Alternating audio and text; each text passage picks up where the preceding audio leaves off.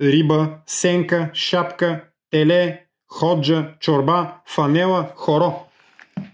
Тези всички думи сега, които прочетох, според гърците, един от основните български външнополитически врагове, нищо, че сега сме съюзници, но такава е нашата геополитическа съдба, да сме врагове с съюзниците си и да сме съюзници с враговете си.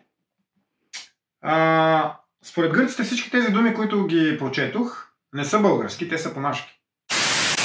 Здравейте, уважаеми сънародници! В предишния клип ви разказах накратко историята на днешните български книжовни норми, които са официално признати от Българската академия на науките от Института за български язик. Те са три. Първата е източна българска книжовна норма или това е българския книжовен език, който се говори на, днеш, на територията на днешната Република България. Втората книжовна норма по големина, а, но същевременно и най-младата, е западно-българската книжовна норма, която се говори и на която се пише в днешна Република Македония или Северна Македония. Третата българска книжовна норма, най-малката, но която пък има 300 годишна история, е банатския български язик, който се говори и на който се пише в българските села в Банат, в днешна Румъния и в днешна Сърбия, който за разлика от другите две книжовни норми използва латиницата, не кирилицата. Но съществуват и още две книжовни норми, които а, през последните години се опитват да се наложат по някакъв начин но по една или друга причина, най-вече заради това, че а, липсва държавна, така да се каже, подкрепа и че тези, които се пробваха да ги създадат, вече на практика не са фактори, нито във вътрешен, нито във външен геополитически план. Поради тази причина тези двете книжовни норми някак си не можаха да се случат напълно, но все пак съществуват до една или друга степен и като хипотеза могат и да се случат след време. Чували сте за помаците? Естествено, че сте чували, помаците са братя наши българи, мисиомани, които живеят в България. Но никой не знае, или поне не е известно, че има страшно много българи мисиомани, които живеят извън България. Разбира се, много живеят в Македония, там са известни като торбиш. Много живеят в а, Турция, където са си известни като помаци. Между другото, най-много живеят в Турция. Никой не може да каже колко точно са, точно са, но със сигурност са над 1 милион човека. Даже аз, като съм говорил с а, наши брати българи, мисиомани в а, Турция, те са ми казвали, че самите те се оценяват на около 3 милиона. Пробваха се да направят даже своя собствена партия в Турция, но Турция не разрешава други партии етнически. Те казват, ние сме българи, да, помаци, българи, то е едно и също. И искаме да имаме наша партия, както Турците в България имат а, няколко турски партии, имат ДПС, имат Движение за права и свободи, само че казва, вие българите разрешавате в а, България да правят турците партия, пък казва, нищо не направихте тук за да накарате Ердоган да ни разреши на нас да си имаме българска или помашка партия. Това нещо ви го казвам като информация да го знаете, за да ви стане ясно до каква степен нашата държава действително изпълнява колониална политика, която няма за цел да защитава българските национални интереси. Но, нека да се върнем на темата за помаците. Помаци живеят и в още две, в още три балкански държави, където има а, където също има такова население, останало от а, много, много ранни времена, тъй като на практика няма балканска държава, която да не притежава земи, които някога са били част от българска държава и на които да няма български младсенства. Тези три държави са Албания, Косово и Гърция. Най-много помаци живеят в Гърция, където тяхната бройка официално се смята, че някъде между 100 и 150 хиляди души. За тези хора гърците решиха да създадат отделна писменост на базата на гръцката азбука и решиха да създадат отделна идентичност. Гърците, уважаеми сънародници, започнаха да внушават на нашите братя българите, в, а, българите мисиомани в Тракия, основно в западна Тракия, където живеят около, около Ксанти, а, чието старо българско име е Царево, започнаха да внушават, че те не са, че те не са българи, а са отделен етнос помаци. За целта първо, започнаха да издават литература. Естествено, всеки един език започва да се развива преди всичко от речник. Беше издаден един голям речник, както виждате тук на гръцки пише Помако Елинико лексико. И отдолу пише на така наречения помашки Помашко урумски лексико което урумски така наричат турците, оттам насетния в езика на българите мусулмани в Тракия навлязло, така наричат гърците. Или иначе казано, виждаме един издаден в Солун през 1996 година българо-гръцки речник, само че е известен като помашко гръцки. Ето е тук и азбуката, която е наложена. Като виждате, има и съответно думи на латиница, за да може да се види как точно изглеждат те. Вижте какви думи на латиница, за по-лесно, тъй като не всеки от вас може да разчете гръцката азбука, са дадени като примерни, като примерни помашки думи. Америка, бягам, вода, ягне, гасте, евала, заек, жолва, жолва на старобългарски костенурка, имам, въкъв, лъжица, мома, баба, неделе, дете, орало, мелейко, уста, пот, риба, сенка, шапка, теле, ходжа, чорба, фанела, хоро. Тези всички думи сега, които прочетох, според гърците, един от основните български външно-политически врагове, нищо, че сега сме съюзници, но такава е нашата геополитическа съдба, да сме врагове с съюзниците си и да сме съюзници с враговете си.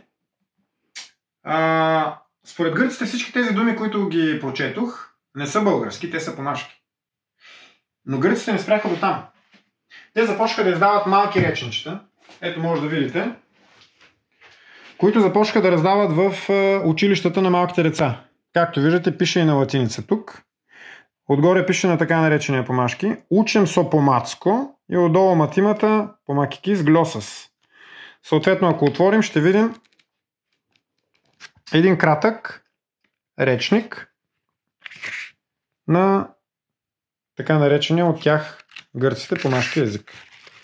Този кратък речник обаче естествено не е достатъчен, за да могат децата да учат, между другото, виждате датата на издаване 2004 година. Доста, доста след 1996, което показва начина по който се развива гръцката пропаганда.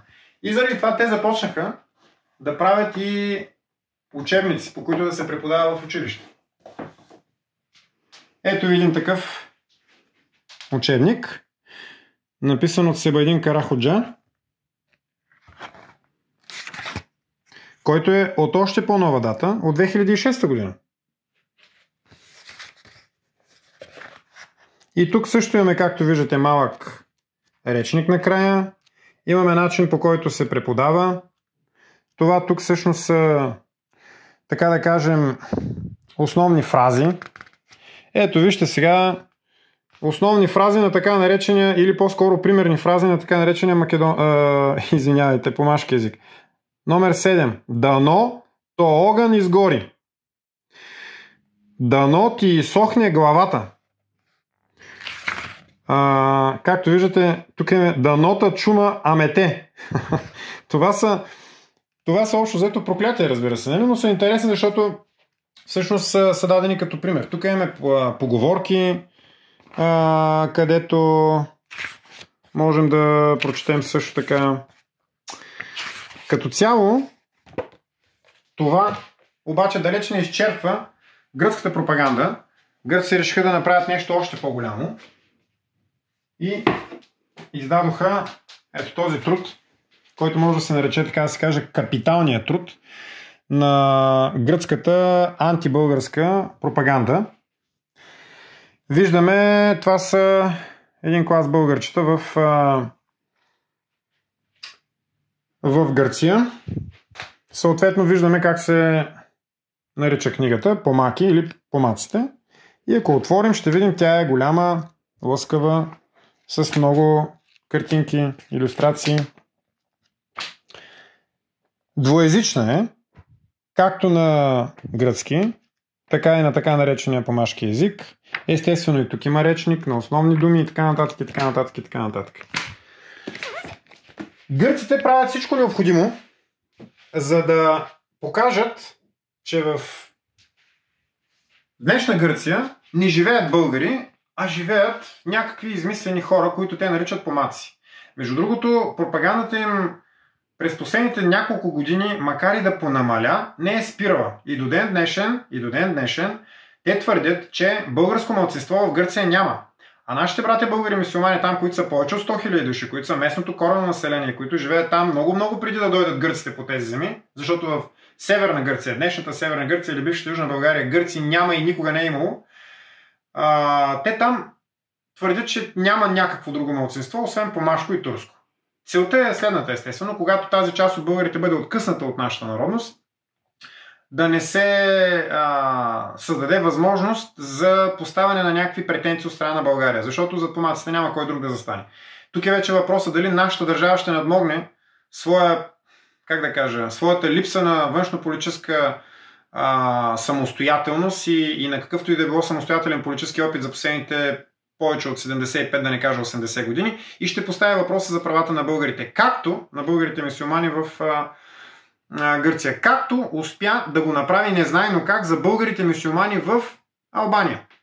Сега ще покажа една друга книга, доста обемна, която е издание обаче, забележете, на Българската академия на науките, на, издание, на издателство на Българската академия на науките, Марин Дринов, като това всъщност, което виждаме в момента е фундаменталният труд на Назив Докле, който се казва Речник Горански, Нашински, Албански.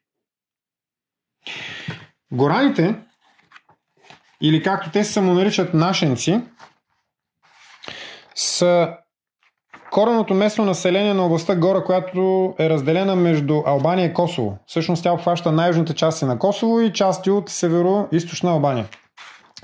Назив Докле, чийто брат Зехрудин беше за известно време председател на а, парламента на Република Албания, е човекът, благодарение на който всъщност в момента тази несъстояла се горанска народност успя да а, бъде интегрирана обратно в българската народност, от която произлиза. Историята на горанската народност е много кратичка. Тя започва да се развива в края на 60-те, началото на 70-те години на миналия век, когато в Югославия вземат решение българите мусулмани, които живеят в Косово, да бъдат преименувани като горани и съответно да им се даде възможност да се обособят като отделен етнос. Те са малко, те са около 30 000 души които между другото и в момента са доста намалели заради бруталната албанска политика срещу тях, която провежда политика на геноцид срещу всеки, който не е албанец в Косово. Въпреки всичко обаче, гораните в Косово имат право на един свой депутат, което им дава възможност, според международните договори, които са в, които са в Косово, дава им възможност да имат свой депутат в парламента на Косово, да развиват своя собствена да развият своя собствена писменост, култура. И това, което можем да видим тук е една малка книжка, която показва традиционните а, носи на жителите, които живеят в Призренско. Това е най-южната част на Косово, както казах, където една част от тях, където една част от тях са българи. Всички, разбира се, българи, мисиомани. Това, което може да видите тук, показва една част от бита на нашите сънародници там. Тъй като обаче зад гораните в момента вече не стои Сърбия, защото по една или друга причина сръбска държава няма възможност да провежда активна политика в Косово, макар че и си иска, гораните изпаднаха в един геополитически вакуум, в резултат на който България успя да наложи възстановяване на българското самосъзнание сред гораните в северична Албания, които живеят в областта Гора, в около Кукъс, в а, Албания. Но по една или друга причина сме абсолютно пасивни в Косово, което е пълен парадокс. Оказва се, че гораните в Албания вече официално са признати за българи. Албания признава това българско младсинство от няколко години. От друга страна обаче, гораните в Косово което, между другото, тази област горе в момента, не, тя вече даже не е толкова разделена, защото границата между Косово и Албания се превърна в пълна фикция. Там на практика не се осъществява никакъв контрол. Гораните в Косово обаче се останаха като отделна горанска народност. Те даже са записани така в преембила на Косовската конституция. Те са един от петте народа, които са признати като местни на територията на Косово, наред с албанците и сърбите. Както виждате, Българският език и българската народност не са отскоро предмет на генно-политическо инженерство. С помаците работят гърците, парадоксално турците също. Оказва се, че а, с българите мусулмани в Албания и в Косово работят сърби, работят бушнаци, също турци, турци, които се опитват да им обяснят, че са турци, които са приели славянския български язик през средновековието, не знаем как. С тези наши сънародници работят всички останали, само не и ние българите. Единственото изключение, което можем да кажем и да направим е за българите в а, Албания. Единственото изключение, но изключение, което потвърждава правилото. Когато уважаеми сънародници за една част от тялото на българския народ се борят като лешояди два съседни народа, гърци и турци в случая, ние няма какво повече да кажем, освен да замълчим засрамено. Ние, като народ и като държава, имаме дълг към нашите сънародници там. Защото ако продължаваме да мълчим, тези плахи опити в момента за създаване на писменост, за създаване на някаква национална култура, в един момент ще се превърнат в нещо, което ще покълне на антибългарска почва. И ще започнем да имаме претенции, ще се сблъскаме с претенции към нас самите поставени от нашите сънародници в чужбина, които обаче няма да имат българско самосъзнание вече и които ще бъдат потиквани от другите антибългарски държави, като Гърция и като Турция най-вече. Всичко това, което ви говоря в момента в България има една единствена политическа организация, която е наясно с тези проблеми и която си поставя за цел разрешаването им и това е възраждане. Не е толкова трудно да направим така, че да приобщим обратно българите, които по една или друга причина са предмет на чужди пропаганди. Никак не е трудно. Само трябва да го пожелаем. Ние от Възраждане го искаме и знаем как да го направим. Ще го направим обаче тогава, когато вие ни гласувате вашето доверие и когато дадете възможност на Възраждане да управлява и да наложи своите идеи не само във вътрешно-политически, но и във външно-политически план, за да може отново България да бъде такава, каквато е желана и какъвто е бил българския възрожденски идеал през 19 век, каквато е била желана от нашите национални революционери, просвещенци и възрожденци. А именно свободна, независима и обединена.